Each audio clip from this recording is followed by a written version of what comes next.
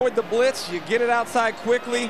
Picked up a good block from his fellow receiver, but then you see the strength. He's a big, long receiver. You don't think of him being all that strong, but broke several tackles there, carried guys down inside.